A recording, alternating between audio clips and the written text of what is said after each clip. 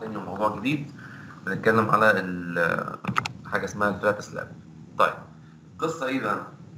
اتفقنا مع بعض إحنا الأسبوع اللي فات إن أنا كان عندي آه ال hollow block.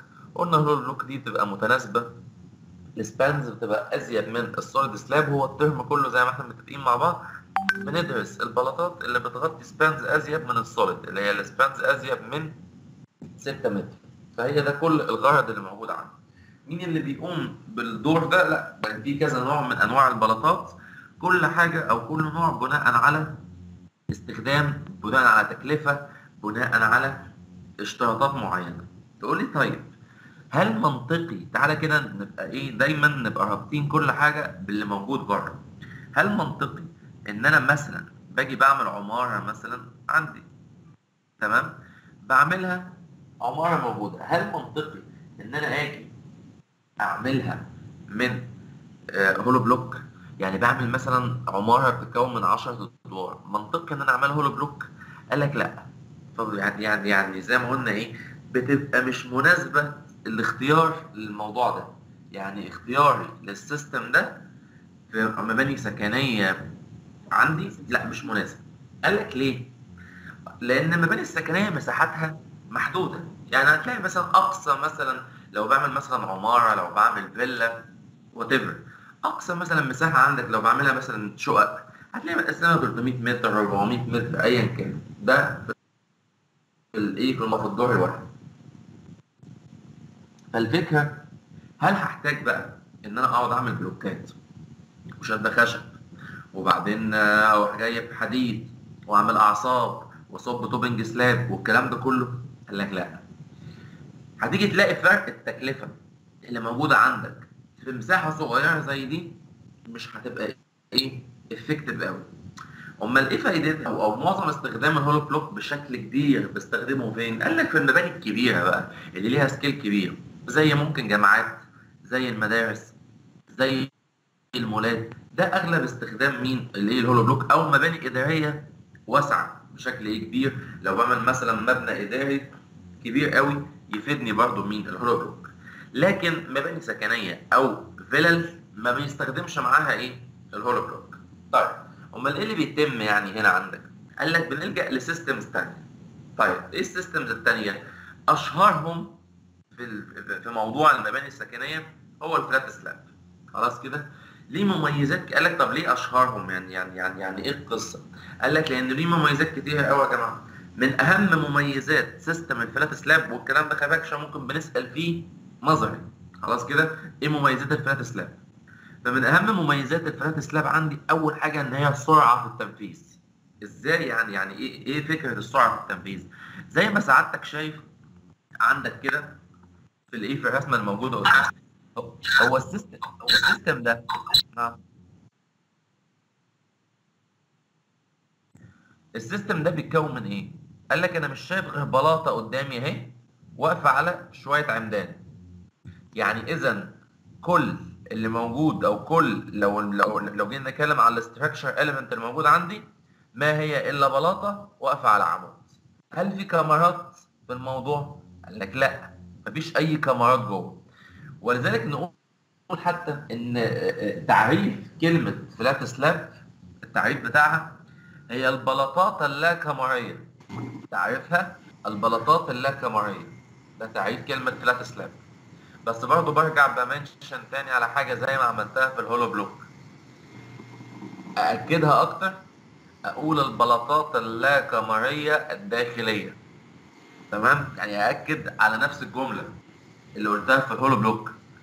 تعريف لما أجي أقول flat slab هي البلاطات اللا كمرية الداخلية. بمعنى هل ممكن في flat slab أو مسموح يبقى في كمرة خارجي على المحيط الخارجي؟ قال لك آه مسموح.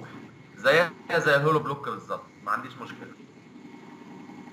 يعني ممكن هنا بره كده في الجزء ده كده ألاقي كمرة projected آه قال لك عادي جدا.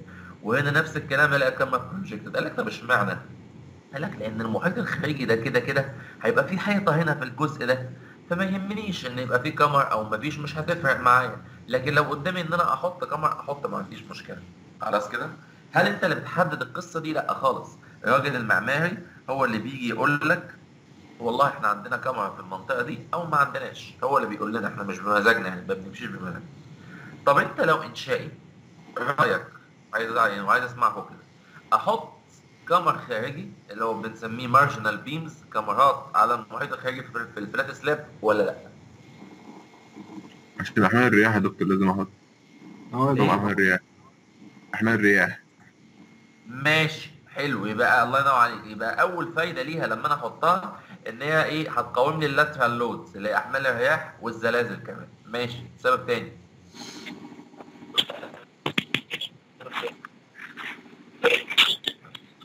ها في سبب تاني. عايز أسمعه. ممكن تقلل سمك البلاطه أكتر؟ الله يبقى مش سمك بقى وبس. هي بتقلل كل حاجة في البلاطة. يبقى لو انت عندك تقدر تحط كمر خارجي قال لك دي مش بتقلل السمك وبس يا سيدي دي بتقلل تسليح البلاطة اللي موجود عندي. بدل ما الحمل كله منقول من البلاطة للعمود لا ده منقول من البلاطة للكمرات والكمرات للأعمدة. فبتلاقي الحمل متقسم أو متوزع. فبتلاقي إيه؟ تسليح البلاطة والسكنس بتاعها بيهدى شوية. بدل ما يبقى التسليح كبير قوي عندي هنا لما بحط شبكة تسليح كبيرة لأ ألاقي الدنيا تهدى إيه؟ شوية. دي الفكرة اللي إيه اللي موجودة. يبقى انشائيا لو أنا أقدر أحط أو ما أحطش أو عندي ال option لا أختار إن أنا أحط marginal beams أو كمرات إيه؟ خارجية صعبه تمام؟ دي إيه؟ القصة اللي عندي. يبقى أول حاجة زي ما قلنا أنا ما عنديش عناصر إنشائية كتير. أنا عندي مين يا سيدي؟ بلاطة وعمود. يبقى اذا من ناحية الوقت ال flat slab موفرة جدا جدا جدا في الوقت. بتلاقيها أنجز ال systems في البلاطات اللي ليها مين يا جماعة اللي, الوقت بتاعها بيبقى مظبوط. ليه؟ أنت بتعمل يا سيدي شد خشب. عندك كل الفكرة إنك بتعمل لي شد خشب. بحط شبكة الحديد. صب يا سيدي الخرسانة. شكرا أنا خلصت إيه القصة اللي عندي. زي ما هو باين أهو قدامك شايف بلاطة أهي. واقفه على العمود أهي نفس الكلام. بلاطة واقفة على عمدان. ما عندناش مين؟ قصة تانية فاهم؟ كده كده الأعمدة بتبقى طبعا مصبوبة وطالعة عندي. أنا كل اللي بعمله إيه؟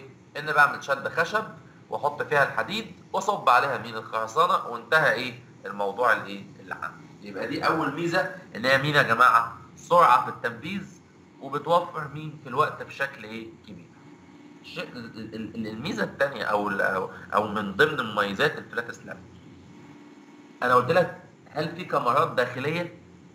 لأ. ولذلك قلنا تعرفها البلاطات لها كاميرية الداخليه يعني ما فيش من العمود للعمود ده كاميرا. طب أنت عشان كنت تداري الكاميرا أو دايما عشان يعني نقول كمعماريا حتى عشان تداري الكاميرا اللي ليها سقوط كنت بتعمل إيه؟ هيدن بيم بزود سمك. نعمل حيطة. تعمل حيطة. بالظبط. فكنت دايما بتعمل إيه؟ تضطر حتى في مكان موجود الكاميرا إنك تقسم وتنزل لي في حيطه كده هنا. أصبح أنت دلوقتي ملزم بتقسيمات محددة لمين؟ للايه لل plan اللي عندك أو للشقة بتاعتك أو للفيلا بتاعتك. يعني هنا في كمرة. آه يبقى أنت ملزم تحط هنا حيطة. هتلاقي في كمرة الناحية الثانية ملزم تحط حيطة. بقت قفلت لك منطقة بقت ملزم بالمساحة دي إنك تعملها مثلا أوضة نوم أو إنك تعملها عندك living أو إنك خلاص أنت محدد بيها. لكن في ال flat slab هل في أي قال لك لا. يبقى أنت هنا عندك حرية كبيرة جدا في التقسيم. في إيه؟ قال لك واحد يا سيدي مثلا عايز يستلم أو استلم شقته عايز من أوضة النوم أوسع من ال reception. إيه خلاص يقدر إن هو يحط الحيطان في أي مكان يعجبه. قسم زي ما انت عايز. العكس واحد عايز يعمل أوض واسعة شوية و reception أقل. فاذا هو عنده هنا حرية في التقسيم إنه يحط الحيطان في أي مكان ايا كان في ال plan هو ماله يا جماعة؟ القصة ما عندوش كاميرات حكماه أو مأيداه فتخليه يحط مين يا جماعة؟ التقسيمات الداخلية بتاعته بناء على الكاميرات اللي عنده. ولذلك كنا كنا نيجي نقول إيه؟ الكلام ده من 10 سنين كده ولا أكتر كمان. كنت تيجي تستلم مثلا إيه؟ في مدينتي في طلعت مصطفى هنا. يسلمك الشقة تاخد ساعتك مفتاح شقتك كده تدخل تلاقي الحيطه تلاقي الشقة دي فاضية من جوه. مفيش فيها ولا حيطه ولحد النهارده طبعا في ال compounds اللي إيه المشاريع الكبيرة اللي تبقى يعني تكلفتها عالية يعمل نفس الكلام. قبل ما يسلمك نهائي يسلمك مفتاح شقتك يقول لك اتفضل. تخش تلاقي الشقة فاضية. ده إيه ده إيه سعادتك ده إيه ده إيه الكلام ده؟ يقول لك ما هو التقسيمة زي ما أنت عايز. هل أنت نقسم على ال plan ال standard ده ولا حضرتك ليك مواصفات خاصة؟ آه تقول له لا والله أنا عايز اكبر ما أعرفش إيه عايز اوسع ما أعرفش إيه. يبقى انت الم- الم- ال- الميزات دي أو ال options دي تقدرش تاخدها غير فين؟ غير في ال system ده. يبقى سعادتك وانت داخل كده لقيت أو لقيت حد بيقول لك الكلام ده تعرف ان العمارة دي متنفذة flat slab خلاص. لأن هي مين؟ هي الوحيدة اللي بتسمح لك بحرية التقسيم في الايه؟ في المساحات الداخلية. تمام؟ دي القصة إيه؟ اللي يبقى زي ما قلنا ليها مميزات كتيرة ولذلك ألاقيها منتشرة جدا في معظم ال- المباني السكنية. ساعتك تعدي كده من على أي مثلا فاهمني آه، تحت أي عمارة تبص تلاقي عندك كل الموضوع ما عندكش غير عمدان وتلاقي شوية ورق كده اللي هو- إيه البلاط بتتنفس بالشكل ده. طبعا بقى لو جينا نتكلم على المباني اللي بتتعمل مباني مخالفة طبعا إحنا بنتكلم يعني أكيد كلنا سامعين في صدد موضوع التصالحات والكلام ده.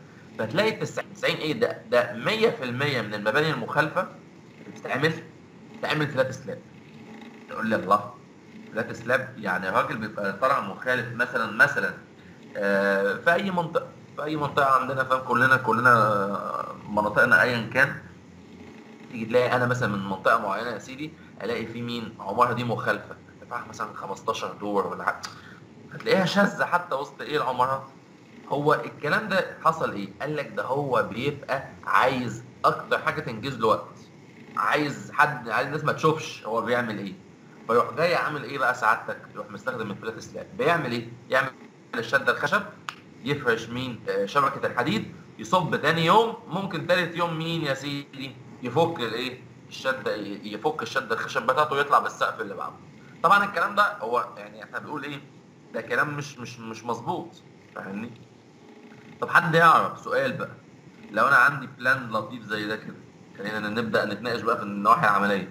لو عندي plan زي ده حد يعرف إمتى أفك الشده الخشب بتاعته بعد أسبوعين 14 يوم. بعد 10 أيام. سبعة آه. أطول سبعة أطول ضلع يا دكتور في أطول اتنين. زي زي الاثنين يا دكتور. زي يومين. أطول أطول ضلع بعد في 14 اتنين يوم أسبوعين يا دكتور. قال لك إيه أيوه بقى؟ أكبر. بتمسك. طيب. زي اليومين اتكلم بقى. قال لك إيه؟ بتمسك أكبر span موجود عندك. هو بيبقى ضعف ال span زائد إيه؟ يومين. يعني مثلا عندي أقصى span في ال flat slab موجود مثلا ال plan بتاعي كان فيه 8 متر. خلاص كده؟ يبقى الشدة تتفك بعد قد إيه؟ قال لك 2 في 8 ب 16 زائد 2 يبقى كام؟ 18 يوم. يبقى ما أقدرش أفك الشدة دي قبل 18 يوم. فالكود بيقول ضعف السبان زائد إيه؟ زائد زائد يومين يدي لك مين يا جماعة؟ إنك تقدر تفك الشدة دي. تمام وده في؟ الموقع يا دكتور بيشتغل كده أصلا ولا بالحب؟ لا ما ما إحنا ما إحنا إحنا اتفقنا. لا بص ما فيش حاجة. إحنا ده اللي ده اللي الناس المحترمة بتشتغل عليه. ده اللي الكود بيقول عليه. انت بقى بتشتغل غير كده تتحمل انت مسؤولية انك اشتغلت حاجة تانية غير كده. مش بتاعتك. يعني أنا مثلا أنا كراجل استشاري مثلا دلوقتي. لما عندي مشاريع معينة. يمكن أنا مثلا آه، آه، يعني يعني يعني يعني عندي أنا في الشغل مثلا حوالي ثلاث مشاريع هل هقدر آه، حد يجي يقول لي هفك بدري؟ أقول له فك. شوف أنا مش هعترض. أنا أنا بس بسمعه كلمة واحدة. هقول له. كتير مكعبات. بس بس أنت تتحمل مسؤوليتك خلاص؟ عايز تفك بعدها بنص ساعة فك. بس لو المبنى ده انهار أنت أنت المسؤول عنه. بس باختصار. لكن العلم بيقول إيه والكود بيقول إيه؟ وال limitations بتقول إيه؟ هي بتقول لك إحنا بنتكلم عليه ضعف ال span زائد يومين.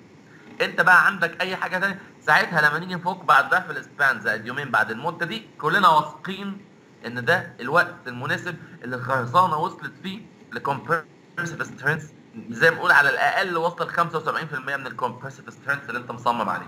اللي هي ال Fcu اللي أنت مصمم عليه. مش بيبقى كده. contract محدد؟ قول يا حبيبي. مش فيه contract محدد أنا ببقى ملتزم بيه بالوقت. حلو. ما هو ما هو ال- الكلام ده بيبقى محسوب هندسة من الأول خالص بقى. يعني مثلا إيه انت أنت دلوقتي معاك البلانات المعمارية. لما الناس بقى بتوع ال management يعملوا إيه؟ مع ال plan. هو برضه حاسب على الوقت ده؟ هو مش حاسب على مزاج فاهمني؟ ما هو لما بيجي يحسب اللي داخل management أو بيجي يحسب بيحسب على الوقت ده. يقول لك والله آه أنا عندي ال span بكذا كذا يبقى السقف بتاعنا هيتفك مثلا بعد إيه 15 يوم.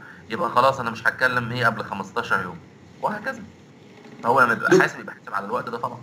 دكتور. هو القانون بيساوي إيه معلش؟ ضعف ال span زائد يومين.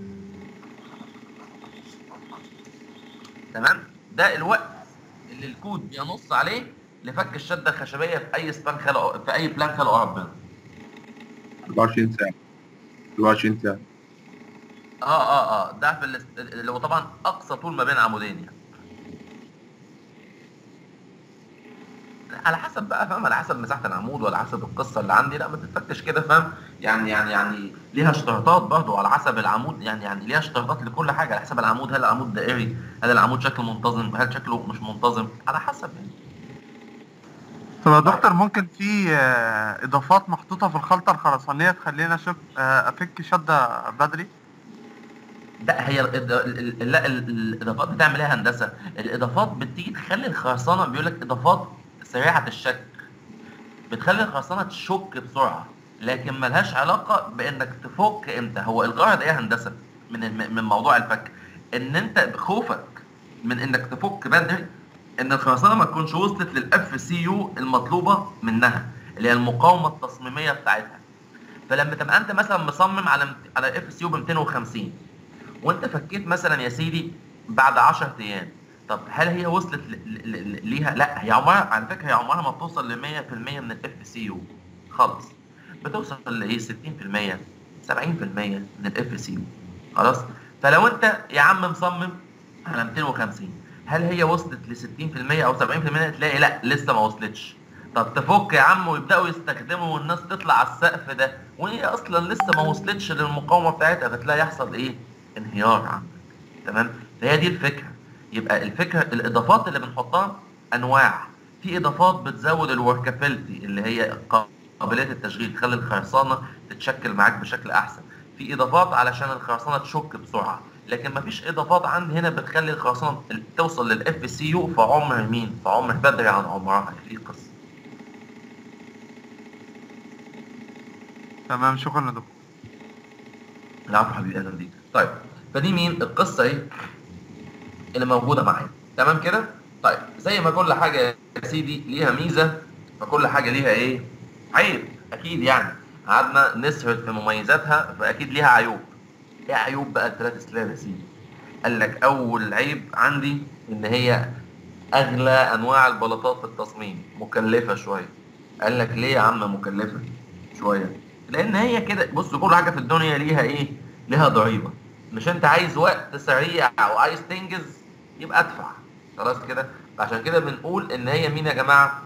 التكلفة بتاعتها شوية أزيد طبعا منين؟ من ال solid وأزيد من من ال hollow block ولذلك لو جينا نرتب ال- البلاطات من حيث ال economic فنلاقي أول نوع من أنواع أو ارخصهم ال solid يليه ال hollow يليه ال flat slab ده كده إيه؟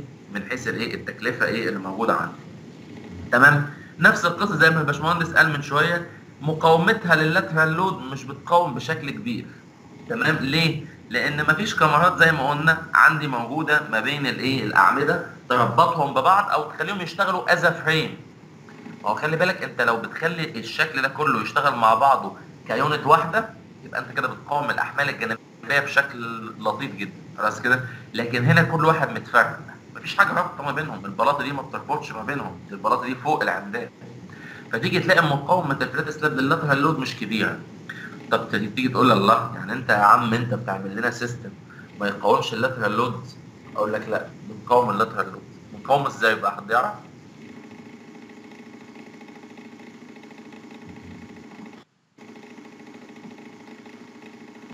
مم. حد عنده فكرة إزاي نقاوم ال lateral load في flat slab ممكن أحط shear wall يا دكتور؟ shear wall؟ shear wall صح يا دكتور. shear wall. لا. مش مش هلجأ لل shear wall الأول. بيعملوا إيه قبل ال shear wall حد يعرف؟ يكبر سمك البلاطة لا. marginal beam ولا إيه؟ ولا يحط عندنا التيجان اللي بتتحط. للعمود من. تحت وعندنا اللي هي أعمل الكاميرات مبنى ما فيهوش كمان بتتحط. أعمل إيه؟ التيجان اللي بتتعمل للعمدان وال في إدارة العمود أيوه. أيوه. حلو حلو. زي ما الراجل ده قال قال لك أول حاجة بيعتمد على الأعمدة إن هي بتقاوم مين؟ ال lateral load يعني مش فجأة كده بيخلي مين يا جماعة؟ الإيه؟ يلا هنعمل shear walls أو هنعمل آه، هنعمل shear walls عندي. لا. ده هو بيخلي العمدان تقوم بدور ال shear wall بمعنى بقى زي ما الباشمهندس لسه قايل بيعمل حاجتين. بيكبر أبعاد العمود أو بيخليها عندي زي ما قلنا ما تبقاش بقى إيه 20 في 20 30 في لا بيكبر أبعاد العمود. تيجي تلاقيها مثلا 30 في 70 30 في 80 30 في 90 تمام؟ تقول لي حلو. يعمل إيه بقى تاني؟ يشوف اتجاه ال lateral load ال critical فين. ودي بتتعمل بقى زي ما قلنا من خلال ال software. هل الاتجاه ده ولا هل الاتجاه ده؟ ولا خلي اتجاه العرض y الكبير وعلى الأساس ده يحط حاجة اسمها ضرب العمود. يعني إيه ضرب العمود؟ يعني يحط الاتجاه الكبير للعمود في اتجاه مين؟ ال lateral load يعني لو لو الرياح جاية كده بالشكل ده كده يخلي ال t بتاعت العمود الكبير في الاتجاه ده. والعكس لو كان الاتجاه ال critical لل lateral load هو الاتجاه ده يخلي ال t الكبيره في الاتجاه مين؟ الاتجاه الموجود. دكتور ده في العمدان الخارجية صح؟ الطرفية يعني. يا حبيبي ولا في كله؟ في العمدان الخارجية سامع بتقول إيه ولا حاجة في العمدان الخارجيه كله. لا ولا؟ لا لا لا كل العمدان حتى لو العمدان داخلية طبعا. مم. ما هو أنا هنا مش بقاوم بالعمدان الخارجية وبس لا ده أنا بقاوم بالعمدان الداخلية والخارجية. تمام؟ فزي ما قلنا بس برضو أرجع تاني أقول هل كل العمدان في. في الحياة هنخليها في الاتجاه ده؟ قال لك لا يعني برضو فاهم؟ ما أنت أهم حاجة مع المحافظة على ال- ال- إيه زي ما قلنا الاشتراطات المعمارية. يعني آه يا عم أنت ادي الدور بتاعك بس مش أنت حط مثلا ال 20 30 عمود في نفس الاتجاه ده؟ أحط العمدان اللي خلاص تبقى سيفت مين؟ اللاترال لود ال lateral load safe خلاص بقى مش لازم كل العمدان تبقى في نفس الاتجاه. أهم حاجة إن أنا ما أخلش بالاشتراطات المعمارية اللي موجودة عندي. خلاص كده؟ يعني برضه أبقى إيه محافظ على الإيه ال plan المعماري بتاعي. دكتور مش يرجعه عندي. 50 50 50 في اتجاه الطولي و50 في اتجاه العرضي؟ إيه إيه إيه هندسة؟ مش مش مثلا آه، يكون اتجاه العمود مثلا في اتجاه الطولي يكون 50 50 مع مع الاتجاه العرضي؟ لا لا لا لا مين قال الكلام ده؟ إزاي؟ امسك أي plan عندك هل هتلاقي نص العمدان بصة في اتجاه والنص التاني والنص في اتجاه تاني؟ وفي حاجة نفس وفي نفس الوقت برضه يا دكتور ما ينفعش أخلي الأعمدة كلها في اتجاه واحد عشان أهو. انت سامع إحنا قلنا إيه؟ إحنا قلنا إيه؟ بغير الاتجاه لحد أما ألاقي ال lateral load بقى safe. سيف معاك؟ خلاص أنا مش مطالب إن كل العمدان تبقى في اتجاه واحد. أنت أنت أنت سامع أنا بقول إيه ولا مش سامع؟ تمام. بس أنا إحنا بنعمل إيه؟ إحنا بنقول اتجاهات بعض الأعمدة. أنت ممكن تلاقي في الآخر أنت عايز إيه؟ عشان عشان تسيف اللاترال لود عايز تلف عمودين بس. فتلف عمودين. عايز ألف ثلاث عمدان. ألف ثلاث عمدان. لكن مش كل العمدان يبقى اتجاهها كده ولا كل العمدان اتجاهها كده ده ما ينفعش طبعا الكلام ده خالص. فاهمني كده؟ تمام يا دكتور طب بعرفه إزاي يا دكتور لو سمحت. يا دكتور؟ اتفضل. معلش بعرف إزاي بس هلف عمودين ثلاثة العدد إزاي يعني؟ طب هي القصة دي إيه بقى؟ عشان عشان بس ما أدخلكش فيها أزيد من اللازم. أنت المفروض عندك في programs software ايا كان نوعها إذا كانت SAP أو ETABS أو روبوتس أو whatever لما تيجي ال plan وبتصممه في اسمها drift إيه هي ال drift دي يا سيدي؟ هو بقول لك إن ال plan ده بيتحرك في الاتجاه في الاتجاه بتاعك قد إيه. يعني يحصل له دلتا أو بمعنى صح ال sway. يعني أبسطها لك حاجة أنت هل ال plan ده هيميل أو هيحصل له sway قد إيه؟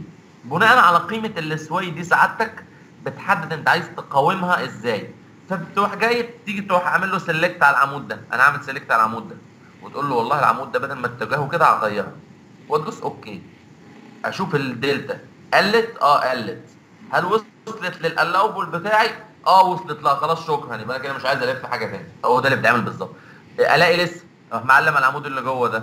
خلاص كده؟ وألف اتجاهه. وأقول له يلا. okay احسب لي يلا الدلتا دلوقتي. اتشيك لي عليها بقت بكام. تمام. تمام؟ فدي إيه؟ الفكرة إيه؟ اللي عندي. تمام؟ آدي الايه القصة إيه اللي عندي؟ يبقى أنا بسلكت على حاجة معينة.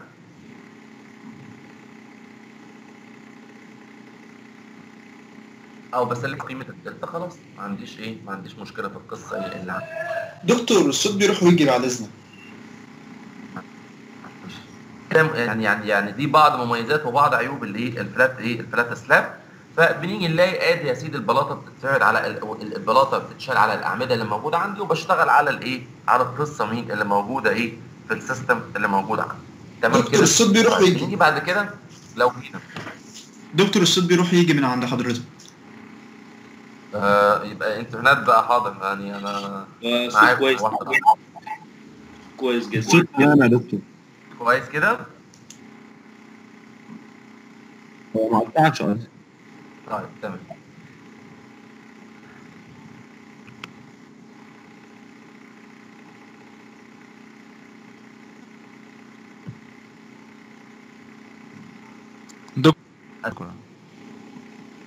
تمام آه بيجي بعد كده بيعمل إيه؟ قال لك عندنا بس مشكلة لطيفة ممكن تقابلنا في ال flat slab. إيه بقى المشكلة دي؟ وهي دي المشكلة ال critical اللي هنتكلم عليها. إن أنت بتقول لي على طول إن ال إن الكاميرا إن البلاطة بتاعتك دي واقفة على العمود. طيب. أنت متخيل العمود ده بيبقى كام في كام؟ زي ما قلت لسه قايل لك. 30 في 40 30 في 50 30 في 60 ايا كان. تمام؟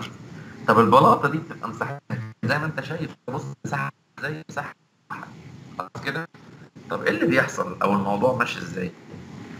الوضع ده بالظبط بالظبط يعني لو كأنك جايب ورقة وحاطط تحتها دبوس. نفس الأبعاد بالظبط أبعاد العمود. بالنسبة لأبعاد البلاطة كبيرة قوي. نفس كأنها بالظبط كأنك جايب دبوس حاطه تحت ورقة. إيه خوفك من الدبوس يعمل إيه في الورقة؟ يخرمها صح كده؟ إن الدبوس ده يخترق مين؟ البلاطة اللي عندي نفس الفكرة. أنا عندي هنا خوفي. إن العمود بتاعي ده ابعاده تكون صغيره أو قليله بالنسبة للبلاطه فتلاقي العمود بنسميها يعمل إيه؟ اختراق يعمل بانشنج للبلاطه دي الفكرة اللي عندي قال لك الله يعني أنت ممكن العمود بتاعك ده ابعاده تبقى صغيرة؟ قال لك آه. فيعمل بانشنج للبلاطه قال لك برضه مظبوط. دكتور معلش. معلش يا دكتور. يا جماعة أبعاد العمود بالنسبة لأبعاد البلاطه واخد بالك كده انت عندك هنا العمود ده ابعاده بالنسبة لابعاد البلاطه كلها. كانك بالظبط جايب دبوس وحاطه تحت ورقه. الدبوس ده خوفك انه يعمل إيه في الورقه؟ انه يخرمها. صح كده؟ ان هو يخترقها. نفس الكلام هنا. أنا خوفي في ال flat slab إن ابعاد العمود لوحدها تخترق البلاطه. تعمل لها punching خلاص كده؟ يبقى هو ده أكتر حاجة critical في ال flat slab في ال design بتاعنا زي ما هنشوف دلوقتي مع بعض. خلاص كده؟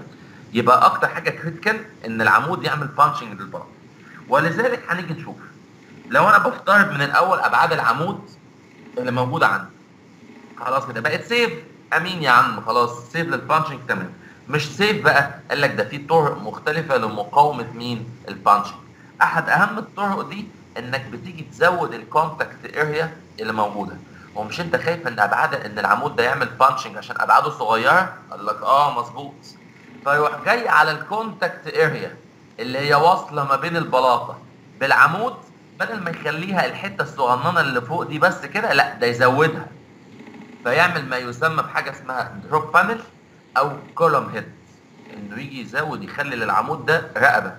بنسميها column head خلاص كده؟ زي شكل الأعمدة دي موجودة برضه بالظبط عندك في سيتي ستارز كده. خلاص؟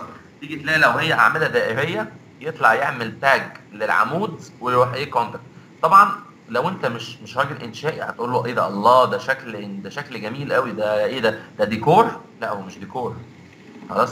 الشكل ده عمل إيه يا جماعة؟ عمل حاجة اسمها column head إنه زود ال contact area ما بين العمود ومين؟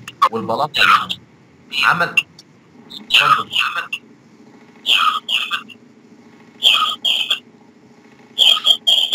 المايك بس من فضلك تفتح المايك اقفله الشكل ده لا دي, دي, ده حضرتك مش شكل ديكور أو حليه لا ده عمل إيه يا جماعة؟ زود ال contact area ما بين العمود ومين والبلاطة. عمل ليه الحركة دي؟ علشان خايف من ال punching عندك.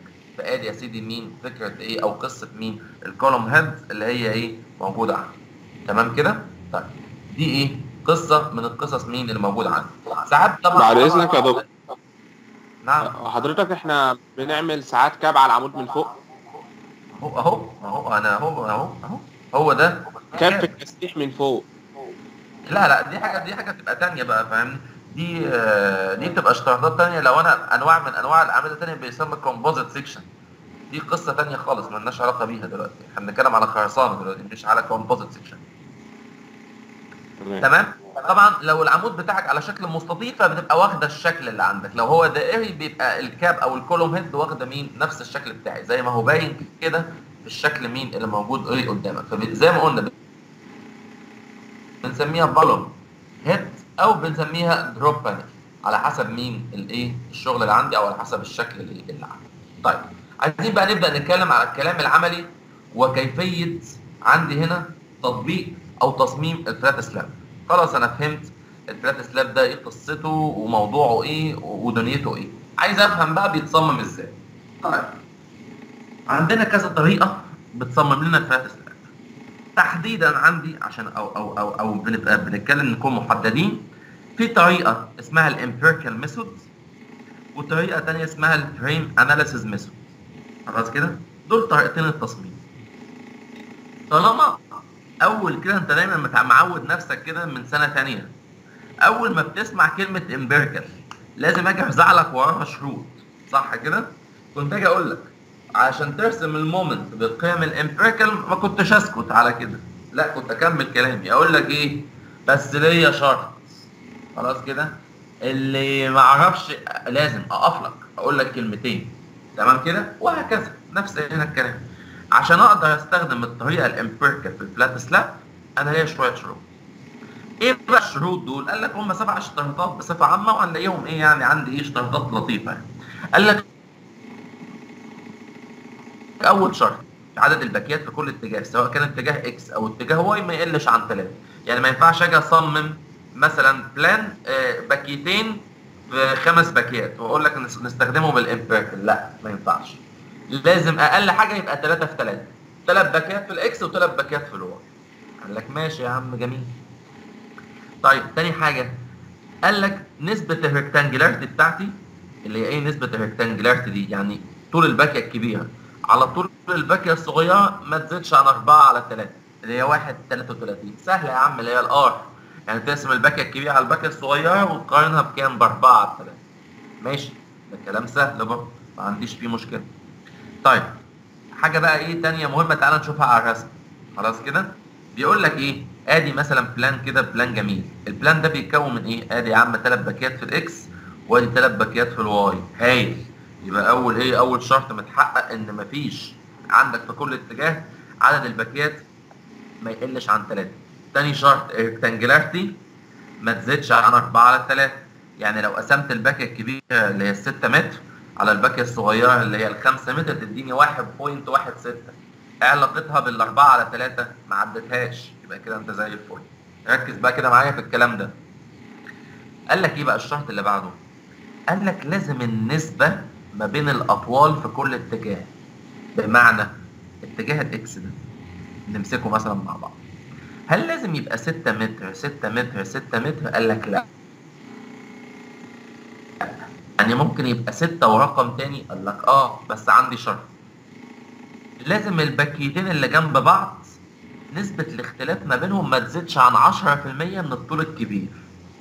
بمعنى يعني لو دي 6% لا- لا- لو دي 6 متر طب اللي جنبها عندي هنا ممكن تبقى كام؟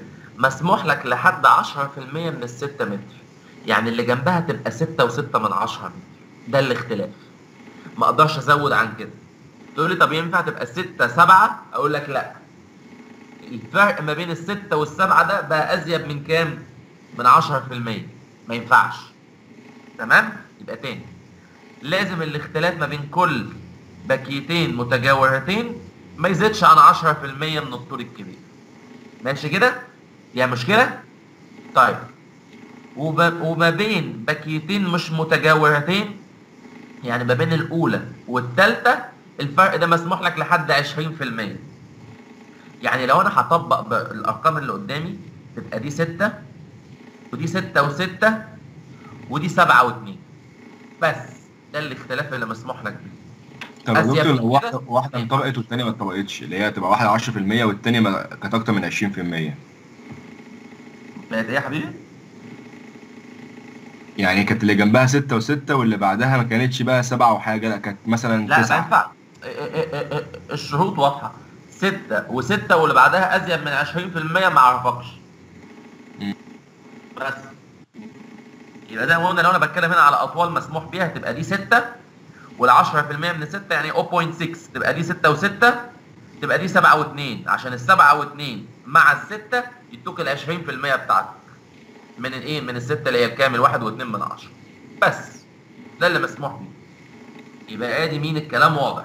الفرق ما بين كل سبانين متجاورين 10% ما بين الاسبانين الغير متجاورين 20% ادي القصة إيه عندي يبقى ده شرط منين؟ من الشروط مين؟ المهمة اللي موجودة إيه معايا من من إيه؟ من التطبيق اللي عندي. ادي الشرط ثلاثة وادي الشرط مين؟ أربعة إيه اللي عندي طيب بيقول لك إيه؟ بيقول لك لازم الأطوال الداخلية اللي موجودة عندي جوه تبقى زي الخارجية أو أقل ما ينفعش تبقى أكتر. يعني إيه؟ آه، سوري ما ينفعش تبقى إيه أقل. يعني الخ- الخارجي هنا عندي يبقى أقل منين من الداخلي أو أو أو أزيد. خلاص؟ يعني يعني ما ينفعش يزيد مين عني يبقى دي إيه القصة إيه؟ اللي إيه؟ اللي موجودة معانا آخر شرط عندك بيقول لك إن لازم ال live load ما يبقاش عندي ال live load اللي موجود على ال plan ما يبقاش أزيد من إيه؟ من ضعف ال dead load اللي موجود مين معايا. في الغالب الاشتراط آخر شرطين ثلاثة دول ما تلاقيهم إيه؟ لا يمثلوا لي شيء يعني. خلاص أنا دايما في الغالب بنركز على عدد الباكيات في كل اتجاه الفرق ما بين مين الأطوال إيه اللي موجود عندي دي معظم الاشتراطات الإيه المعمارية اللي بتلاقيهم إيه يشتغلوا عليها. تمام؟ دي القصة مين اللي موجودة إيه معايا في اشتراطات تطبيق ال empirical تقول لي طيب قلت لي في طريقة تانية اسمها إيه؟ ال frame analysis method إيه شروطها؟ قال لك شروطها عدم تحقق تحقق أي شرط من الشروط بتاعة ال empirical يعني يوم ما تلاقي إن بقيت باكيتين في ثلاثة تقول لي ما أعرفكش أستخدم ال empirical method ليه؟ لأن من شروط ال frame method إن يبقى إيه حضرتك هنا عندي؟ ثلاثة في كل اتجاه. بقوا اثنين أقول لك لا خلاص ما يخصنيش. ما ينفعنيش الكلام. يبقى شروط شروط تطبيق ال frame analysis method هو هو عدم توافر أي شرط من إيه؟ من شروط ال empirical لكن ملهاش شروط صريحه إيه؟ يعني. تمام؟ طيب تعالى كده نشوف الراجل إيه؟ مديني كده هنا عندي إيه؟ plan لطيف. خلاص كده؟ وبقول لك ابدأ إيه؟ اشتغل على ال plan اللي إيه؟ اللي موجود قدامي. خلاص كده؟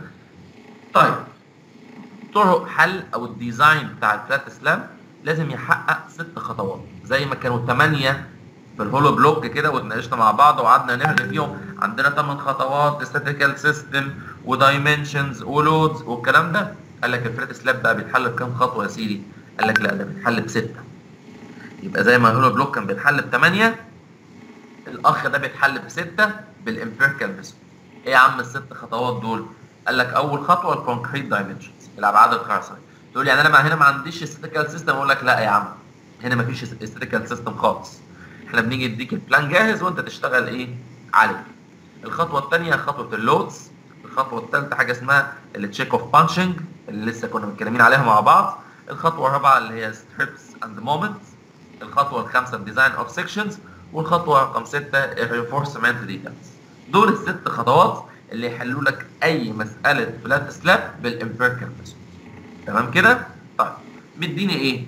قال لك يلا يا أنا عندي هنا plan ال plan ده ال fcu 25 fy 360 floor cover واحد ونص live load بكام؟ بثلاثه وابدأ مين؟ اشتغل على ال plan إيه اللي موجود قدام. ال plan ده عامل إزاي؟ قال لك بيتكون من ثلاث باكيات في ال x ب 6 متر ثلاث باكيات في ال y بكام؟ ب 5 متر. وعايزين نبدأ نشتغل على القصة الايه اللي عندي. طيب تعالى بقى نبدأ إيه؟ نتناقش مع بعض كده واحدة واحدة.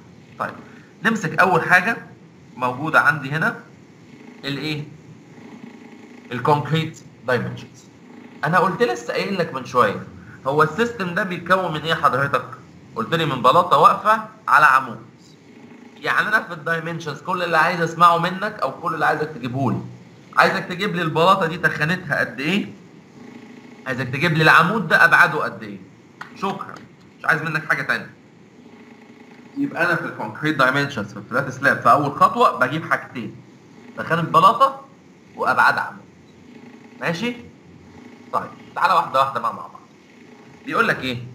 قال لك ال ts بتاعتي للبلاطة بتساوي L على 32 في حالة إن المسألة بتاعتك without drop panel يعني ما فيهاش drop panel أو L على 36 لو ال plan فيه drop panel تعرف منين إذا كان ال plan فيه drop panel ولا لأ؟ هتيجي تلاقيني حاجة من اتنين. يا قايل لك راس المسألة إذا كان المسألة دي فيها drop panel أو لأ أو جاي ارسم لك العمود واعمل لك حواليه مين؟ مربع. يبقى المربعات دي هي مين؟ ال drop panel اللي موجودة يعني. واضح هنا إن أنا ما عنديش غير plan سادة كده نظيف واقف على اعمدة يقول له إن ال ts بتساوي L على 32 طب مين ال L بقى يا حاج عندي هنا؟ وركز بقى فيها. عشان زي ما قلنا الكلام ده كلام عام مش بنكرره تاني. ال L اللي هنا قال لك ال L هو أطول span موجود عندي في ال plan كله. تقول لي طيب يعني هنا في ستة وهنا خمسة فين أقصى حاجة؟ أطول plan أطول panel موجودة عندي أو أكبر باكية هي الستة الستة متر هي 6000 مللي مقسومة على ال 32 فتديني 187 ونص. يعني تخانة البلاطة 187 ونص قال لك حلو. هحسبها كده 187 ونص قال لك لا. في الفلات سلاب ونحطها برضه حلقة في ودنا تقرب التي إس لأقرب عندي هنا 20 مللي بالزيادة. بمعنى دي 187 أقرب 20 مللي بالزيادة ليها اللي هي كام يا جماعة؟ ال 200 وأرجع أقول عشان ما أقعدش أوجع دماغي الفلات سلاب كلها أرقام زوجية فيما عدا الأرقام مقفوله زي إيه؟ عندي هنا. زي ال 20 زي ال 25 زي ال 30 دي الأرقام المقفوله عندي.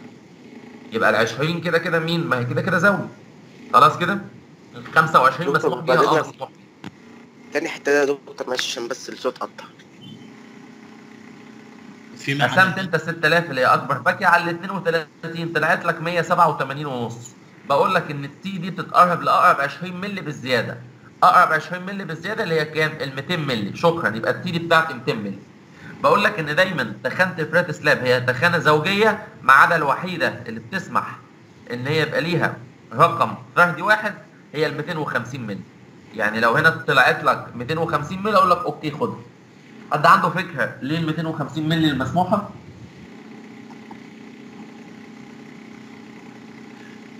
عشان بتتقسم على خمس بسم الله ما شاء الله يعني إيه علاقة الخمسة بالموضوع يا عم؟ أنا بقول ليه رقم 250 مسموح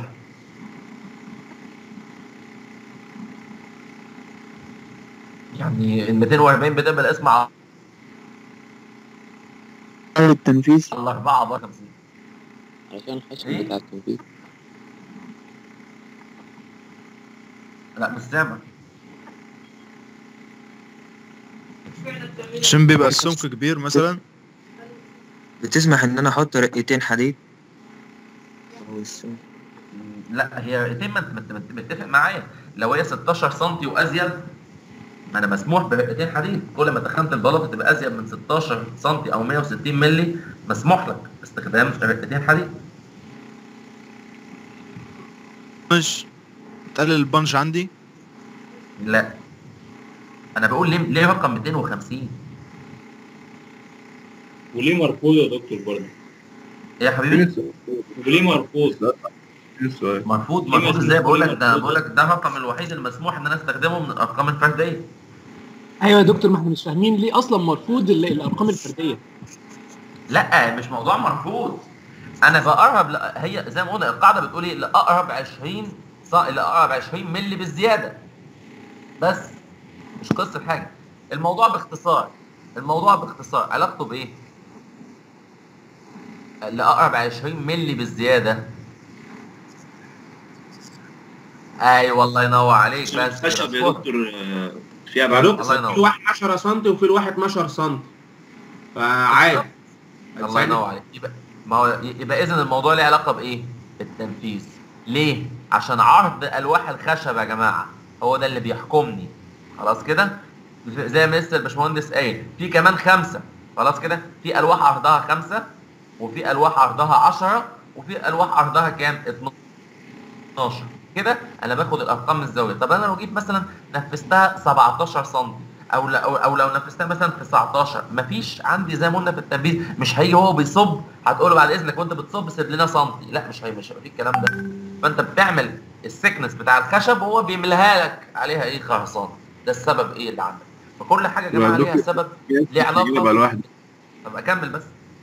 كل حاجة ليها علاقة بالتنفيذ. مفيش حاجة يا جماعة بتتعمل صدفة. يعني مفيش حاجة إحنا بنقول لك الرقم ده بكذا مش حفظ. يعني دايما يعني من فضلك افهم. افهم إحنا بنعمل إيه. م- قول لي اشمعنى ليه؟ ليه؟ زي ما يكون المس اسأل على كل حاجة.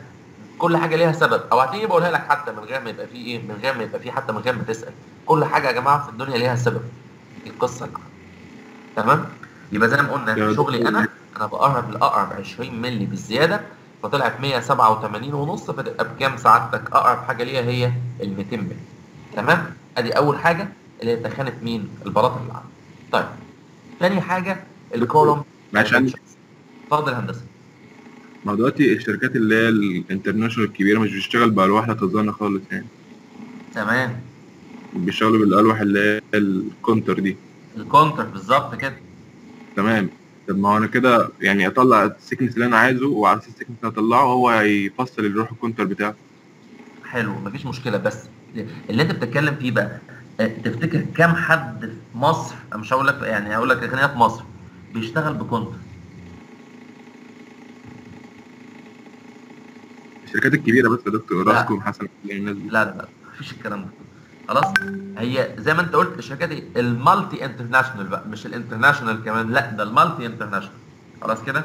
تلاقيها إيه؟ لو هقدر أقول لك في مصر كل يعني أقول لك أقول لك يعني يعني يعني, يعني كنت بستلم مثلا من من فترة قريبة حاجات في العلمين. لا شغالين الشغل العادي خالص مع إن مين اللي مين اللي بينفذ سعادتك اللي هناك؟ الأبراج CCC الشركة الشركة رقم 8 على مستوى العالم شركة triple C شغالين إزاي؟ شغالين يا باشا بالألواح العادية جدا الألواح الخشب العادية. فهي القصة بتبقى إيه؟ لو لو عملوا counter ده يعملها فين؟ كان عاملها عاملها في العمدان. العمدان عاملها counter. لكن البلاطة ما يقدرش يعملها مين يعمل كل المسطح ما ينفعش. فاهمني؟ فتلاقيه مين؟ كتكلفة. لا بالنسبة له تكلفة عالية.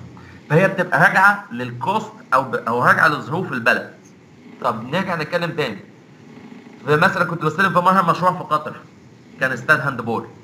كل الشغل هناك عندك counter. كل الشد. موقع steel. هل بقى عقب لا ملهاش دعوة. هل أقدر هنا اطبق أقول له آه، يقرب لأقرب اتنين صح لا ما الكلام ده ما, ما, ما ينطبقش عليه. لأن الكلام ده خاص بالكود الإيه؟ الكود المصري. فالكود المصري بناء على الظروف بتاع البلد اللي أنت شغال فيه. لكن هو مش كلام عام بصفة عامة أو اشتراطات عامة. مش ده برضه يا دكتور على حسب برضه ال- البنود اللي موجودة في العقد؟ ما هو ما هو بالتاكيد طبعا ما هو العقد ده بيبقى إيه؟ هندسة ده على حسب ظروف البلد اللي أنت فيها وعلى حسب التكلفة اللي عندك. ما هو طبعا أكيد أكيد. ما هي كلها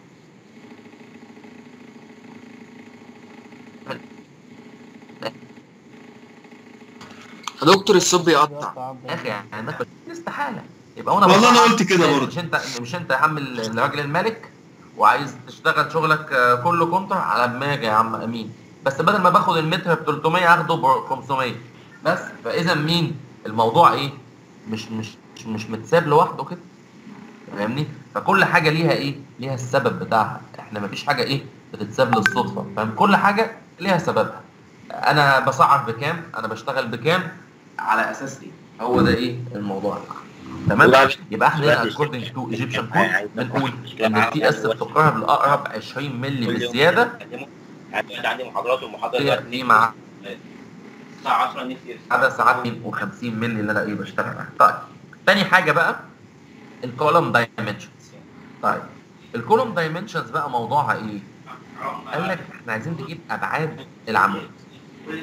لو حد فيكم يعني أول لما هقول له ابعاد العمود هيستوقفوا حاجة كده. يقول لي ابعاد العمود أنت هنا في أول خطوة مش كده؟ أقول لك آه فعلا في أول خطوة. يقول لي طب ما قدرت يعني يا دكتور في أول خطوة. يا دكتور معلش في حد فاتح المايك مش سامعين آه، بقى اللي أنتوا اللي فاتح المايك اقفله اللي فتح يا شباب من فضلكم المايك لا هو في مشكلة هي في مشكلة هو في مشكلة جامدة. وطلبنا برضه إن إحنا نغير الخط بتاع التليفون اللي هو يا رجاله عامل لكم مشاكل العائليه بس اتنقلت لنا في المحاضرة. فمن فضلكم لو يعني نقفل المايكات بس. جورج جورج أسامة. يا دكتور أنت ممكن ممكن تعمل mute on مش في اداره لحل مشاكل عندكم؟ فقال لك بنعمل إيه؟ قال لك إحنا بنفترض أبعاد للعمود. افتراضات. خلاص كده؟ وبعد كده بشوف هل الفرض اللي أنا افترضته ده مظبوط؟ ولا الفرض ده مش مظبوط. وبناء عليه أقدر أحدد أنا في أنهي اتجاه أو أنا في أنهي إيه؟ في أنهي زون. خلاص كده؟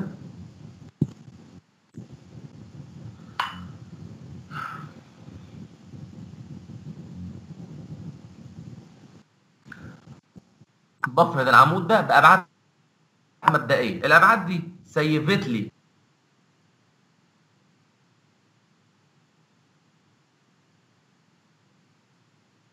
بيدينا بعد للعمود صحيح؟ يعني بيقول لنا والله العمود ده أو أبعاده كذا في كذا؟ قال لك لا. الكود ما بيديكش كده. الكود بيقول لك إيه؟ أنا هديك أقل بعد للعمود يبقى موجود معاك. ممكن يبقى أزيد؟ آه ممكن يبقى أزيد. يبقى أنا بدي لك أقل بعد للعمود. خلاص كده؟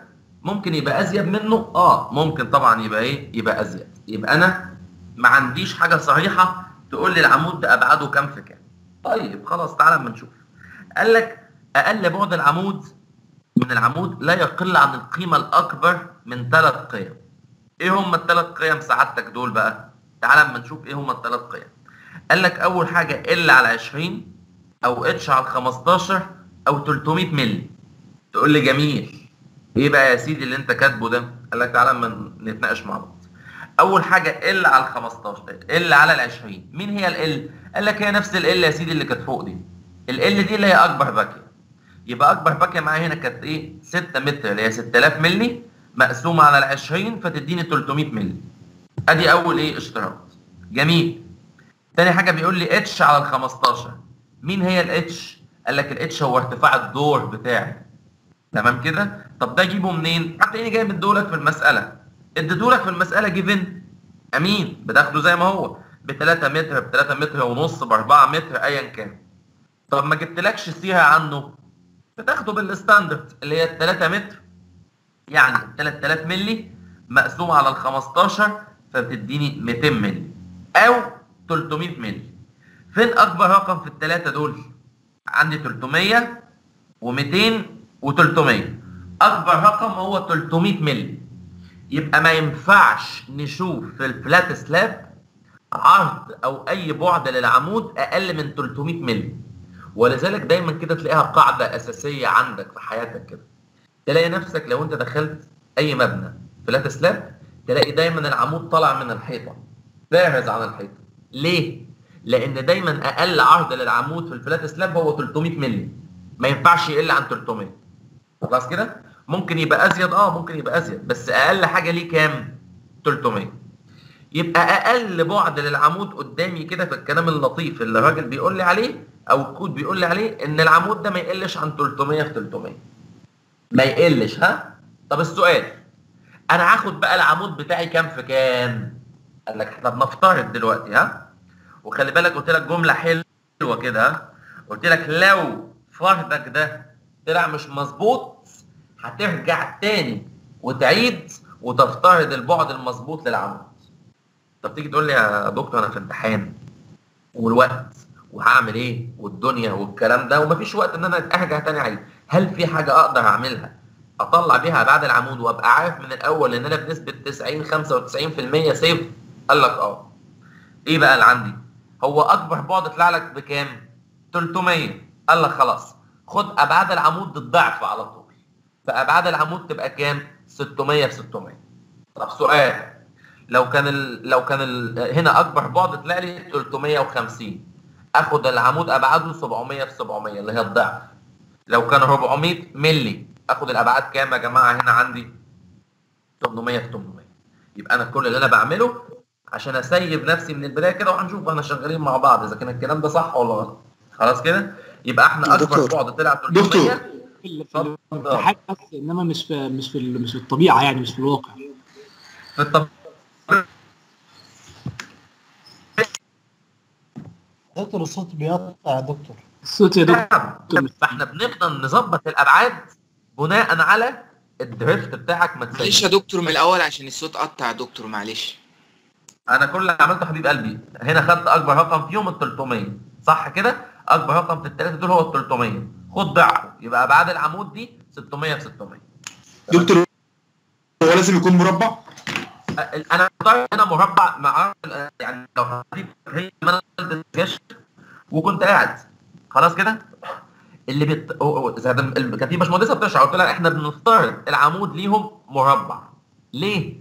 ما هو نفس اللي أنا بعمله على اتجاه يا سيدي هعمله على الاتجاه الثاني يعني نفس اللي بعمله على اتجاه ال X اللي اعمله على اتجاه ال Y ما عنديش options جديدة. ما عنديش اتجاهات جديدة. خلاص كده؟ فأنا بفترضه مربع. خلاص كده؟ خلاص أنا فهمت المربع أقدر أعمله مستطيل أقدر أعمله دائري أقدر أعمله أي فإحنا بنفترض مربع علشان إيه؟ تسهيل الحل ولكن. ممكن بره يبقى مستطيل. ممكن يبقى دائري ايا كان. الايه القصة اللي. تمام كده؟ يبقى زي ما قلنا هنا كده يا شباب. أدي أكبر رقم طلع لي من الأرقام اللطيفة اللي موجودة قدامي دي هو ال 300 يبقى اذا أنا باخد أبعاد العمود ضعفه فتبقى كام؟ سعادتك 600 في 600 أدي أول معلش خطوه معلش يا شكرا. دكتور في حالة المستطيل في حالة آه يا المستطيل. هاخد هاخد هاخد أكبر span هقسمها على ال لا لا لا اقف بقى هنا.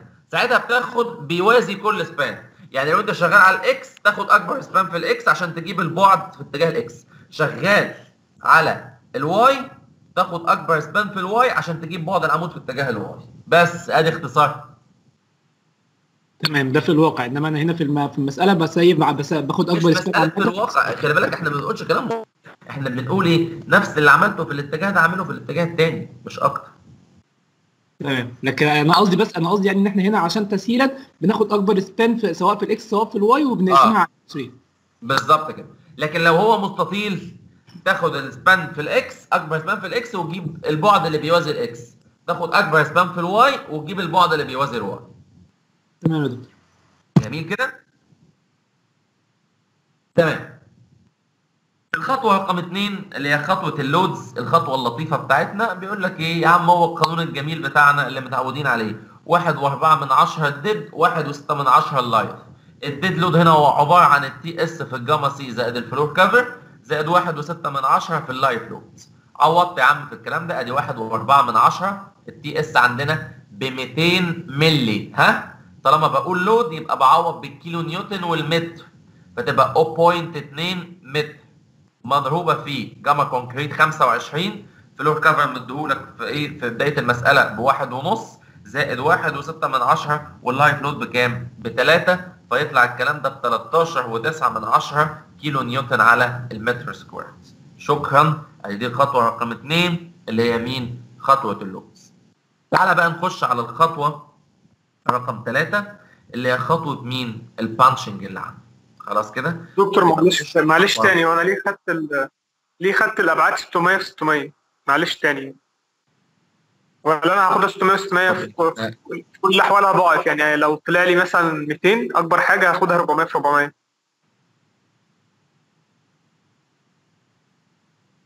ثمانية ولا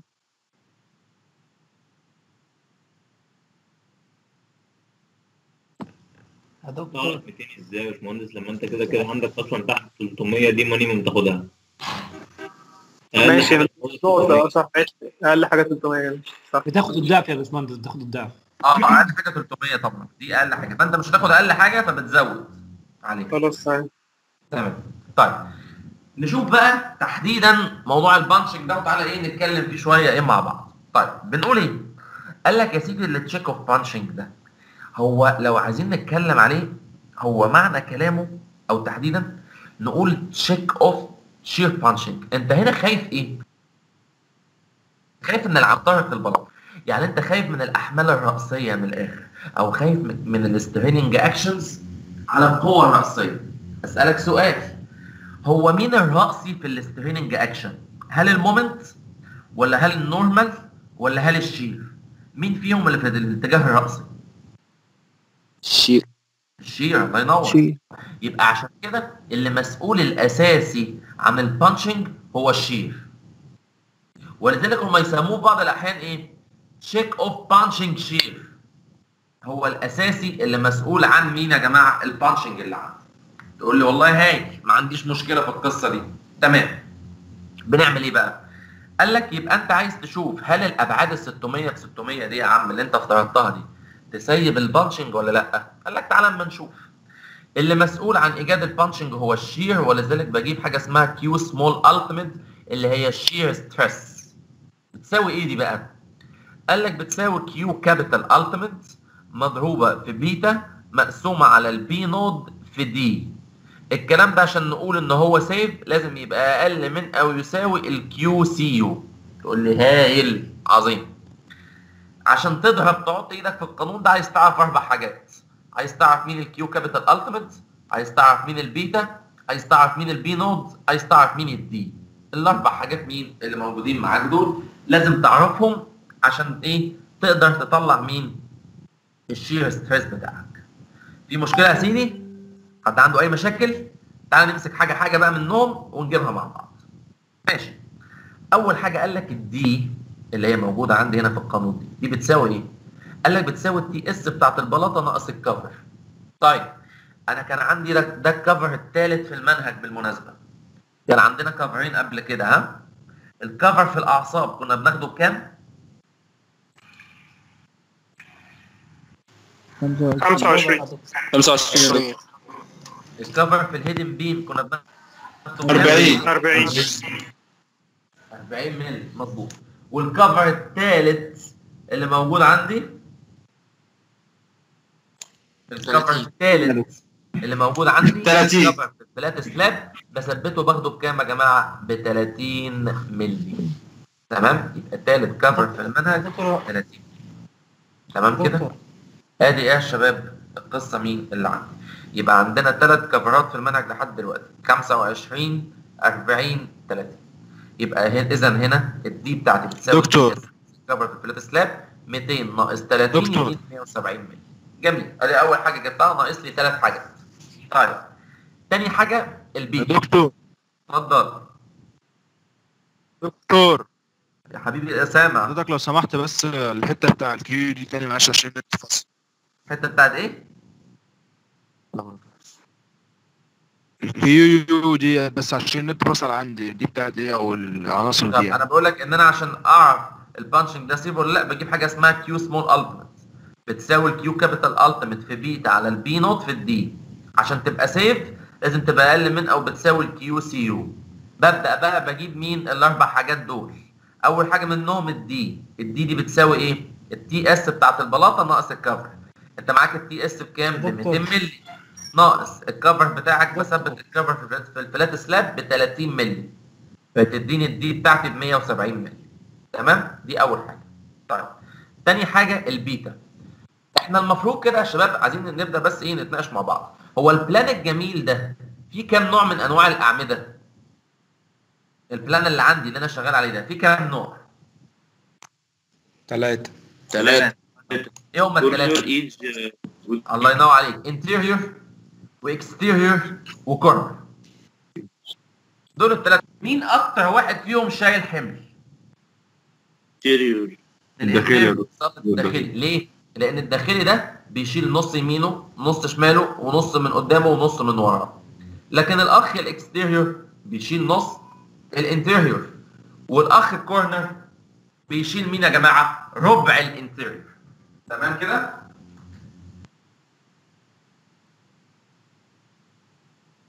تمام. يا doc يا doc رحت فين يا doc؟ يبقى دي يبقى دي القصة إيه اللي موجودة معانا؟ يبقى شايل الحمل هو العمود ال interior. يبقى بديهي كده لو الإنتيريور سيب للبانشنج الإكستيريور يسيب والكورنر يسيب. تمام؟ البيتا دي بقى حضرتك ثابت بيتوقف على مكان العمود. بيقول لك بتساوي واحد وخمستاشر لو العمود بتاعك interior بتساوي واحد وتلاتة لو العمود exterior بتساوي واحد ونص لو العمود corner أنا هنا ب check على مين دلوقتي حضرتك؟ على ال interior. column؟ فيبقى العمود بتاعي حضرتك قيمة البيتا بكام؟ بواحد وخمستاشر. تقول لي هو أنا في الامتحان دايما ه check على ال interior؟ آه دايما إن أنا في الامتحان ه check على ال interior. لكن لو حضرتك حبيت ت check على ال exterior تبقى عارف إن هي قيمته بواحد وثلاثة حبيت check على ال corner يبقى عارف إن قيمته بكام؟ بواحد ونص. لكن أنا اللي يخصني أنا ب check على ال interior column فقط لا غير. تمام؟ طيب أكمل. بعد كده ال b nought خلاص كده؟ مين يا سيدي ال b nought دي؟ أو موضوعها إيه؟ قال لك عايزين نفترض فعلا يا شباب إن الع... ان ان العمود ده عمل punching للبلاطة اللي عندي. خلاص كده؟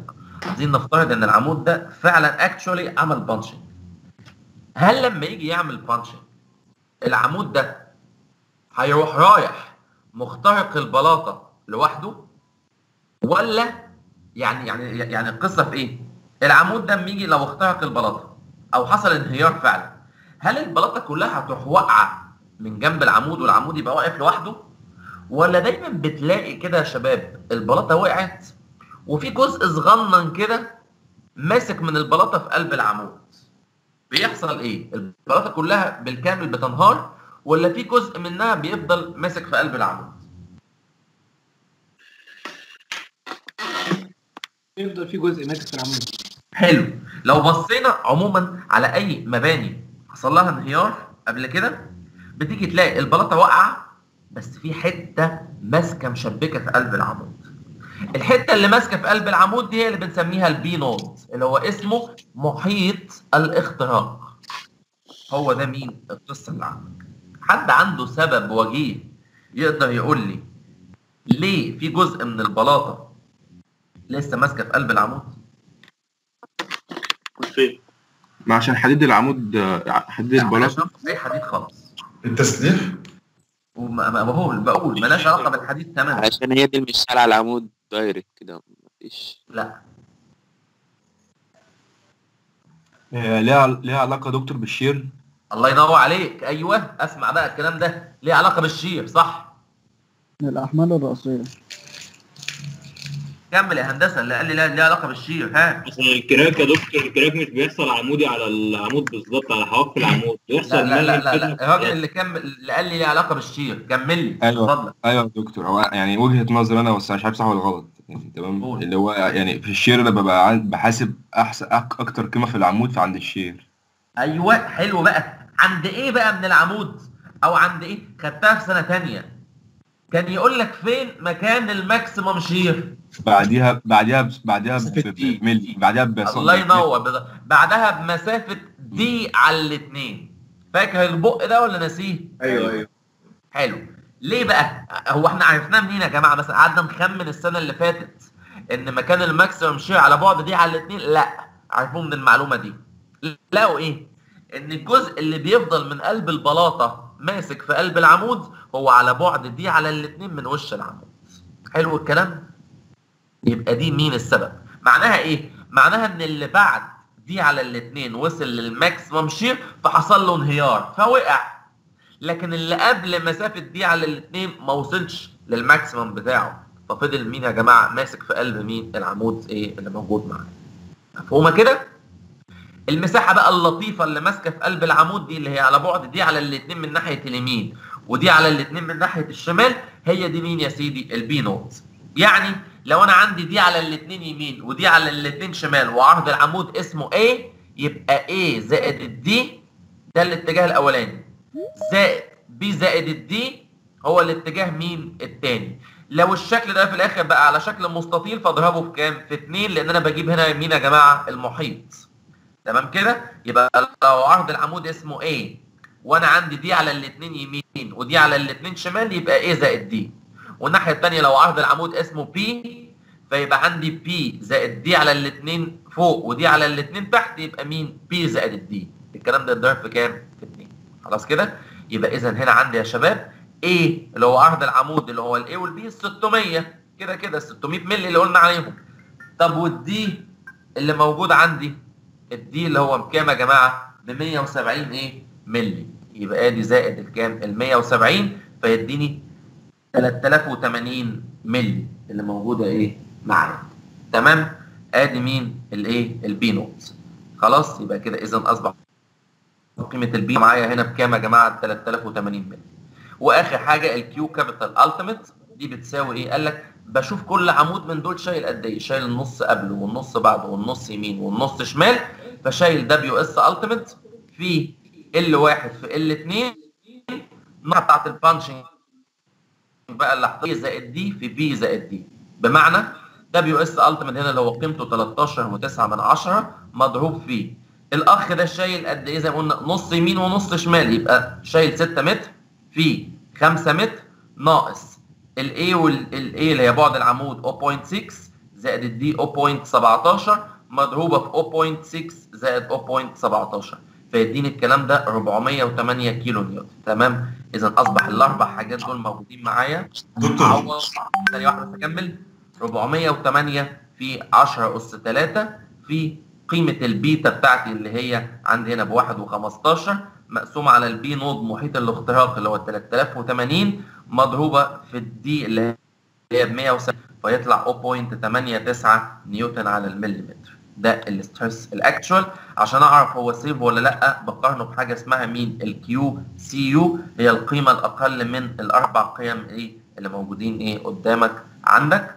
طيب هنكملهم دول بقى إيه إن شاء الله لأن إيه كده الوقت فات عشان عندكم محاضرة ثانية دكتوره منى عايز تدخل فنكمل دكتور. بإذن الله. دكتور عندي سؤال بعد يبقى أنا كده بقف لحد مين؟ check of punch اتفضل يا هندسة اسأل.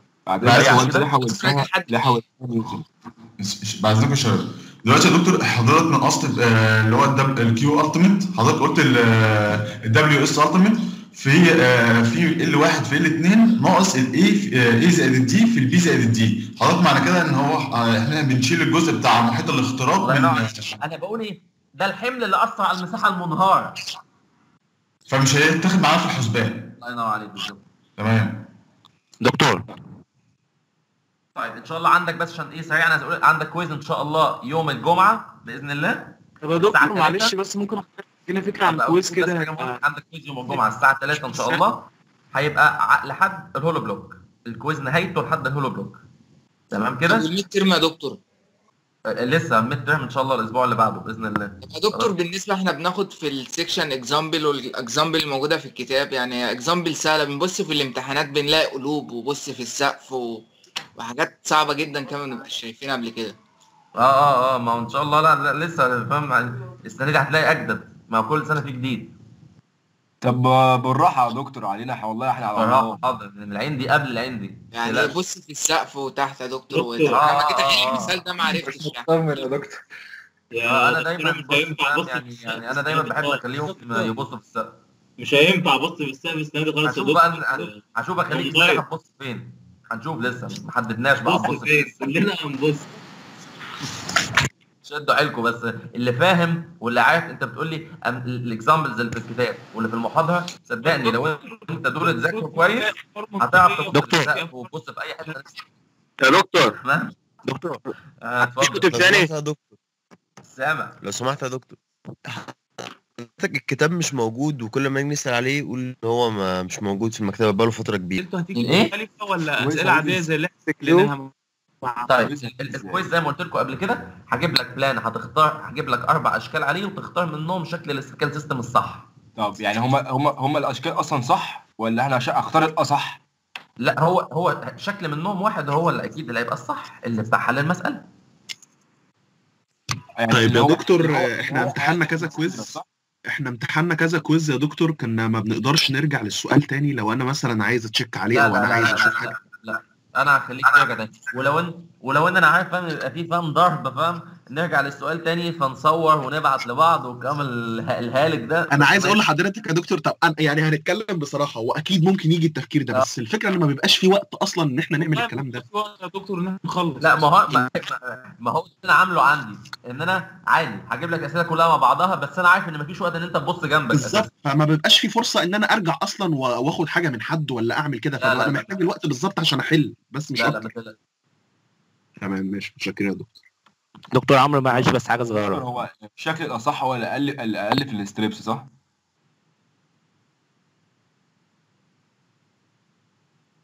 يا دكتور اعملهم أخليهم ثلاثة خليهم أربعة أخلي آخد الدرجات الأكبر يعني ما يبقاش عندك قلق خالص من القصة دي تمام؟